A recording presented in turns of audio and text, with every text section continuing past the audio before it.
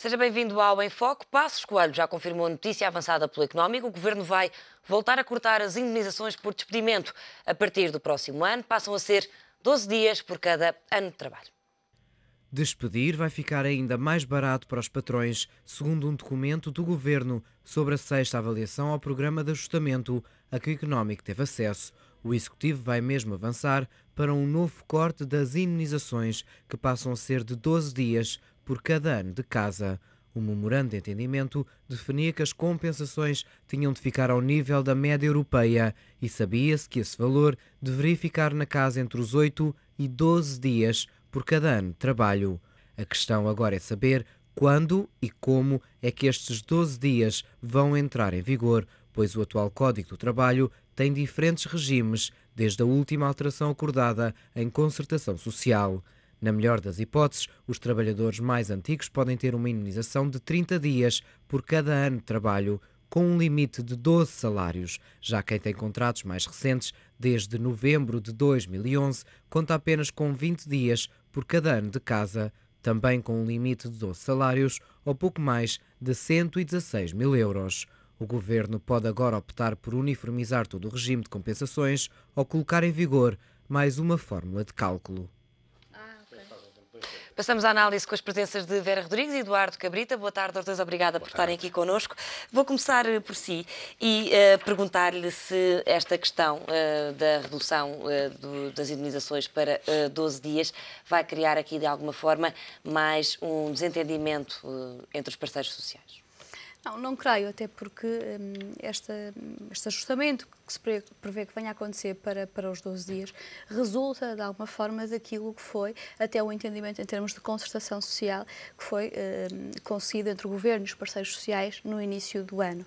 Um, e resulta também uh, daquilo que é o memorando de entendimento, até, aliás, da sua primeira versão, onde estava uh, escrito explicitamente que o Governo teria como objetivo ou como obrigação uh, fazer um alinhamento dos dias dias médios ou do nível médio que é praticado na União Europeia em termos do número de dias que estão previstos para, eh, em termos de indemnização por cessação de contrato de trabalho. Portanto, não se trata de todo de uma surpresa eh, e, eh, ao nível da concertação social e do compromisso que o Governo fez, o objetivo de se desenvolver um estudo aprofundado que permitisse, de facto, balizar aquilo que seria o patamar de referência em Portugal com aquilo que são os, os valores valores médios de compensação na União Europeia e na, e na zona euro, eh, é um compromisso portanto, que já estava definido previamente. Eh, se nós tomarmos em consideração o valor médio de compensação ao nível dos 27, eh, os valores rondam entre os 6 e os 10 dias. Se considerarmos apenas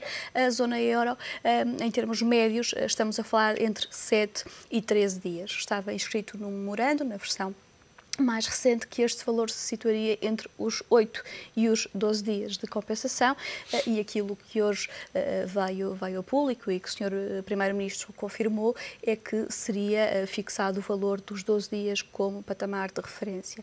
Dizer-lhe também que aquilo que se pretende objetivamente com esta, com esta alteração é de facto tornar a nossa economia e o nosso mercado de trabalho, neste caso concretamente, mais competitivo e com uma dinâmica que me parece beneficiar essencialmente as pessoas que nesta altura estão à procura de trabalho e que estão desempregadas.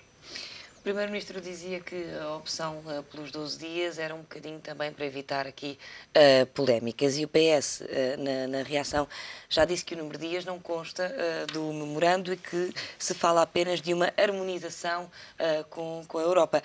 Pergunto-lhe então, no, seu, no entender do Partido Socialista, onde é que uh, se foram buscar estes, estes 12 dias? Bom, acho que eu está a falar com o destinatário errado. É, aliás, muito estranho que uh, uh, o Diário Económico saiba mais que os parceiros sociais, saiba mais que o maior partido da oposição, provando mais uma vez que o governo é o principal fator de instabilidade social neste momento em Portugal.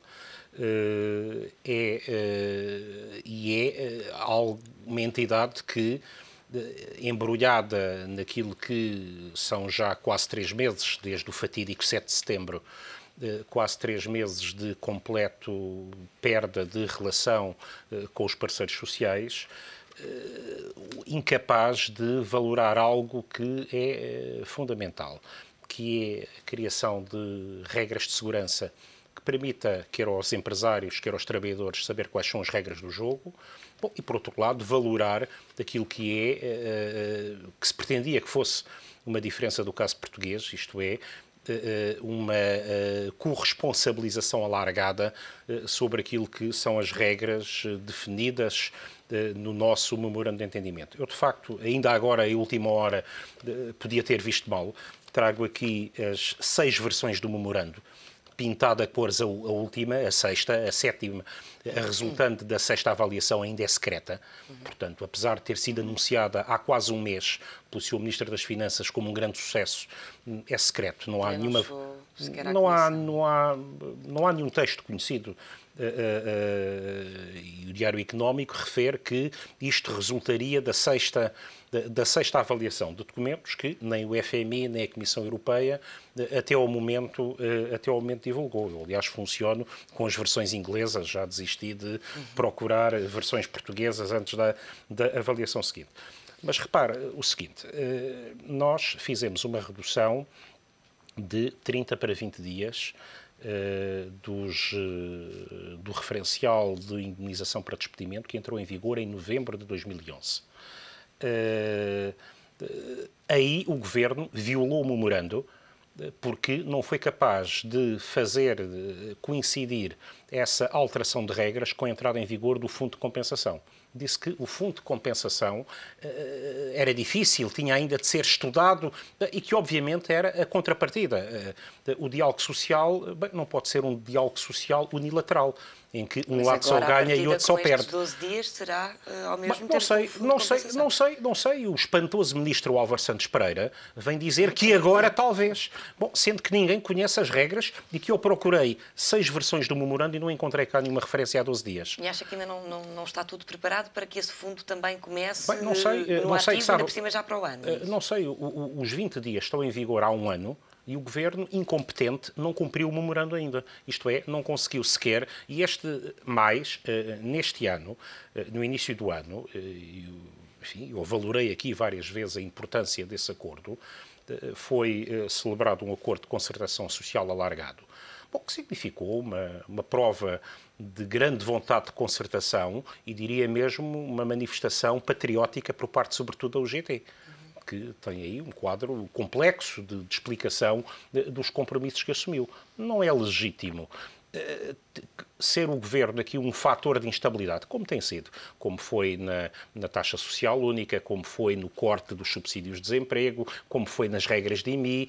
Portanto, não só o, o diálogo com os parceiros sociais é algo inexistente, como esta ideia de aproximação aos aproximação aos média europeia em regra uma fraude porque é falado com uma visão que eh, toma em conta alguns países, onde não, sobretudo países eh, eh, vítimas de políticas de liberalismo selvagem, ex-países comunistas, que têm valores muito baixos, que têm valores muito baixos de, de, de indenização e que aqui desvirtuam, por exemplo, o que está a provocar uh, grande conflitualidade em Espanha é a redução de 45 para 30 dias. Isto é, dentro daquilo que são mercados mais próximos, aliás, hoje somos francamente competitivos. Os, se falar com os empresários, não, é, não são as regras de despedimento que hoje são vistas como um problema, quando temos quase mais de 16% de desemprego quando fecham eh, empresas como nunca. Aquilo que os empresários veem como problemas eh, são é eh, a incapacidade de de fazer, de cumprir atempadamente. Olha, eu não, eu, é a existência de um sistema de IVA de caixa para as, para as pequenas empresas, é a demora da justiça, é a instabilidade do sistema fiscal ninguém fala dos, uh, desta ideia de que indemnizar mais barato para despedir mais seja um fator de competitividade e é mesmo socialmente perverso que com o desemprego acima dos 16% seja esta a prioridade do Governo. Até porque agora vão, as contas vão ser um bocadinho mais complicadas de fazer, porque temos aqui três componentes a analisar quando uma pessoa é despedida. A parte dos 30 dias, a parte dos 20 e a parte uh, dos 12. Não vai ser fácil de fazer estas vai contas. E um, calhar... MBA, um MBA em despedimento. e se calhar um patrão que não seja tão sério pode ter aqui, se calhar, alguma vontade de pagar menos a indemnização que o trabalhador uh, mereceria e teria direito, e se calhar o trabalhador também não vai notar, porque de facto isto vai, precisar, vai ser preciso aqui muita ginástica. Bom, eu acho que nesta altura estamos um pouco no campo da, da especulação, porque de facto eh, a notícia veio a público hoje, muito embora não seja eh, nada eh, comparado com o que foi a polémica, por exemplo, da, da TSU. Não é verdade, aliás, como disse no, no, início, aquilo que é este regime resulta do próprio compromisso para a competitividade do emprego que foi negociado entre o Governo e os parceiros sociais. Portanto, não é uma surpresa e o estudo que faz a análise e a comparação com os regimes da União Europeia estava definido como sendo necessário, como sendo útil e como sendo um objetivo a, a, a concretizar, concordado e, e, e, conciliado entre ambas as partes. Depois dizer que, de facto, eh, ainda está por definir como é, como é que funcionará esse regime de aplicabilidade. Eh, o Sr. Primeiro-Ministro também disse justamente que esse novo regime teria que coincidir a sua implementação também com a criação do fundo em que as empresas vão, vão, vão complementar, polémica, mas é? é uma questão que, de facto, ainda vai ter que ser clarificada. E, portanto, neste, neste ponto, o que nós entendemos é se há uma necessidade de eh, flexibilizar o funcionamento do mercado de trabalho, se há uma necessidade de ter uma legislação laboral que promova a criação de novas Mas oportunidades. Qual é a necessidade? Quem é que se exige? nós entendemos que... Nem os empresários a exigem hoje. Repara uma coisa, com a taxa de desemprego que nós temos, nomeadamente a chamada taxa de desemprego jovem que, que, ronda os 39%, eu penso que a resposta que o governo e a resposta que o país eh, tem que dar é eh, ter uma legislação que ajude a que seja mais fácil contratar, ou seja, que seja menos eh, arriscado ou que seja, digamos assim, eh, mais flexível fazer a contratação de pessoas. As, as pessoas que estão desempregadas, os jovens que hoje não conseguem encontrar uma primeira oportunidade de emprego, não estão preocupados com aquilo aquele que será o seu nível de indemnização se daqui a dois anos forem despedidos. Estão preocupados em encontrar emprego, em ter trabalho. E eu penso que é essa resposta, digamos assim, que o governo deve, deve responder. Depois também contrariar um pouco aquilo. Um, que, que o Sr. Deputado Eduardo Cabrita disse relativamente ao, eh, ao ponto de comparação. Se nós fizermos uma, uma análise daquilo que são os dias de compensação, no caso de cessação, por exemplo, de contratos com 4 anos de antiguidade ou com 20 anos de antiguidade, os casos onde os dias ou o nível de compensação é mais baixo não é exatamente nos países que tiveram regimes comunistas. Aliás, como poderemos ver, nomeadamente aqui por estes, por estes gráficos, eh, Portugal eh, tem esta, esta, esta faixa aqui mais elevada e os países onde as compensações, compensações são mais baixas, estamos a falar de países como a Finlândia, a Dinamarca ou a Suécia. Isto quer mas no caso dos quatro anos, também no quer desemprego no caso, protegem mais. É que mas, aí, mas aí chega, chega a uma questão que eu também queria, que eu também queria referir. É que há Porque é alguns é preciso, países onde não há esta indemnização. Porquê? Porque hum, há outras formas de proteção social que são consideradas ou substitutivas ou complementares. Ou seja, do nosso ponto de vista, tendo em conta aquela que é a realidade do mercado de trabalho em Portugal, é mais importante que nós criemos mecanismos que criem novos postos de trabalho do que protegermos, eh, e não estão em causa os direitos das pessoas que já estão a trabalhar, que têm contratos em vigor cujas uh, indemnizações não, não, são, não são afetadas em relação ao tempo que já, que já trabalharam. É mais importante que consigamos ter uma legislação mais flexível do que uh, estejamos a insistir num modelo que pelo que vemos e pelos números e por aquilo que os resultados que temos, nomeadamente a nível, a nível de, de desemprego, não nos satisfazem e não nos dão a resposta, nomeadamente para as novas gerações. Bom, eu acho que o modelo está à vista. Quando o memorando foi assinado, o desemprego era 12%, está em 16,5% e vai continuar a subir. Eh, eu gostaria, aliás, que o Governo se preocupasse mais com outra página do Diário Económico, em que aí tinha, tinha ter boas respostas, que essas sim interessam aos empresários. Numa outra página, que, ao qual o Governo não ligou atenção, diz-se que uh, vai começar a ser, está já a ser preparado como será devolvido os 7.500 mil milhões de euros de eh, não utilizados da recapitalização da banca. Ora bem, uhum. Portugal está a pagar juros por esses fundos, esses fundos não estão a ser utilizados. Há uma preocupação, ainda o Ministro das Finanças disse recentemente no debate orçamental que não, isso não se podia tocar porque, bem, poderia vir a ser necessário.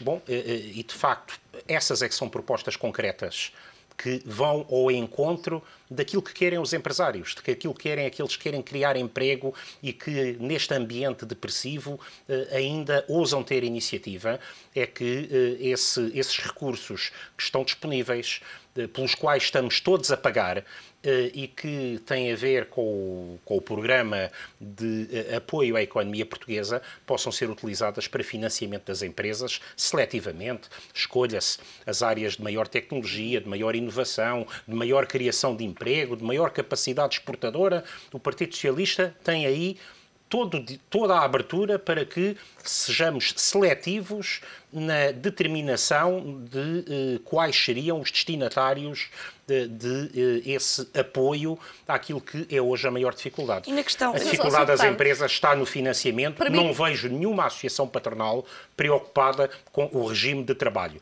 Eh, aliás, esta Sim, flexibilização... A CCP hoje também disse isso, que não era este Não está preocupada. Não é esta, esta, esta é, esta insere-se naquela linha de pau mandado que caracteriza Passos Coelho e Vítor Gaspar, de pau mandado da pior, do, pior, do pior experimentalismo social a que Portugal, a que Portugal está votado. Isto é, um primeiro-ministro e um ministro das Finanças que eh, até o presidente da República eh, ter uma palavra de bom senso eh, se colocaram completamente de fora daquilo que era a possibilidade de aproveitar condições de maior flexibilidade que foram abertas no quadro europeu e que estão aqui a repetir, eu diria que a lógica da engenharia social da TSU. Mas tivemos Isto é, também é, o experiências... chefe da missão para Portugal a dizer que não seria muito Quem? bom, o chefe da missão do FMI para Portugal a dizer sabe. que também não seria muito bom uh, pedir as mesmas condições para evitar Pois, mas sabe, é que na sexta avaliação não foi Portugal que reprovou.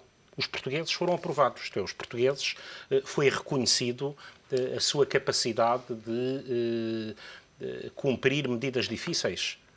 Isso foi, isso resulta da sexta avaliação quem chumbou na sexta avaliação foi a Troika. E esse funcionário do FMI, que, esse funcionário do FMI que reiteradamente expressa posições, aliás, de algum modo, por vezes pouco convergentes com a diretora-geral do FMI. Uh, uh, bom, aquilo que uh, expressa aqui é uma posição que, bem, contra a qual o governo português tem de se bater Bem, como o governo irlandês se bateu quando defendeu a competitividade fiscal como um elemento fundamental da recuperação, eh, da recuperação da Irlanda. Eh, e o problema vai sempre dar ao mesmo. É que nós, em Portugal, temos uma situação muito difícil. Temos condições únicas para um consenso político e social alargado temos parceiros sociais com o sentido de responsabilidade da UGT e das associações patronais que têm sido, foram na questão da TSU, estão a ser aqui eh, prova de um grande bom senso. Bom, temos um Partido Socialista que bem, honra os seus compromissos, é surpreendido por sucessivas revisões, Bom, mas temos um Ministro das Finanças que não é o nosso representante em Bruxelas, é o porta-voz de Frankfurt em Lisboa. Neste, neste, neste, neste ponto, pergunto-lhe exatamente se de facto uh, o Governo uh, não está aqui a deixar de lado um pouco os parceiros sociais e também aqui o Partido uh, Socialista é para aqui de encontrar. Não, não está. O Partido Socialista não, tem estado nenhuma, sempre de lado. E deixe-me deixe recuar, deixe recuar justamente eh, no ponto que, que, que Eduardo Cabrita referiu relativamente uh, aos 12 mil milhões de euros uh, que foram negociados com o objetivo de recapitalização da banca. Uhum como uh, sabe, e muito bem, por sucessivas vezes, quer da parte da Troika, quer da parte do Sr. Ministro das Finanças, foi referido o facto de que esses 12 mil milhões de euros não, não era suposto, ou não, é, não, é, não estão autorizados para serem utilizados noutro fim que não na recapitalização da banca esta questão eh, da, devolução dos 12 mil milhões de euros, da parte dos 12 mil, 12 mil milhões de euros que não venha a ser utilizada, é cara ao CDS. Aliás, na própria discussão do Orçamento de Estado, eu mesmo tive a oportunidade de perguntar ao Sr. Ministro das Finanças sobre a possibilidade de, efetivamente, devolvermos a parte eh, que não viesse a ser necessária, que não viesse a ser utilizada por parte da banca portuguesa, com o objetivo precisamente de abater o montante que viesse a ser eh, devolvido ao total da dívida uhum. e uh, dos juros e das comissões que sobre esse montante tivessem que vir a ser pagos. E, portanto, do nosso ponto de vista, tendo em conta este pressuposto e a tónica em que o CDS, na altura, colocou esta uh, hipótese, parece-nos positivo que uh, o Governo esteja a trabalhar nesse sentido, porque isto significa duas coisas. Significa que, efetivamente, vamos conseguir reduzir diretamente nesse, no montante devolvido o volume total da dívida e significa também que aparentemente, não haverá outras instituições financeiras em Portugal a necessitarem desses montantes para fazer a sua recapitalização. Portanto, uhum. não nos causa estranheza e, do nosso ponto de vista, é, é, é, é positivo que assim seja se assumirmos e partirmos do, do, do, pressuposto, como já bem é conhecido, de que esse montante não é negociável nem é utilizável. Os 12 mil milhões de euros da banca estão incluídos nos 68 mil milhões uhum. do empréstimo com, com a Troika. E, portanto, o montante que pudermos aqui devolver, do nosso ponto de vista, será certamente positivo. Repare, isto é contraditório. Quando, por vezes, eh, eh, se dizem alguns à, à, à direita que eh, o memorando não considerou algumas necessidades de financiamento e, portanto, o valor não, era, não é todo aquilo que seria necessário. Nós não estamos quer e normalmente o que aparece aqui é a, a, a referência aos déficits de financiamento do setor empresarial do Estado. Mas nem é isso que eu estou a colocar. O que estou aqui a colocar é a necessidade de financiamento de empresas, fundamentalmente do setor privado, que estejam disponíveis nesta altura, bom, para criar emprego, para investir, bom, e não uh, aquilo, que, uh, aquilo que temos, que é um, enfim, um processo de aprofundamento da, da recessão eh, tanto mais grave quanto aquilo que vinha de trás, eh, ainda dos governos do Partido Socialista, eh, fruto de uma estratégia muito ativa de diversificação de mercados, que era o papel, o desempenho muito positivo das exportações, bom, está-se a esgotar. Está-se a esgotar, em parte, fruto da recessão global europeia, em fruto parte da incapacidade do governo que aprofunda a crise e que nos leva a uma espiral recessiva. Meus senhores, muito obrigada pela vossa presença neste Foco, que chega ao fim. Boa tarde.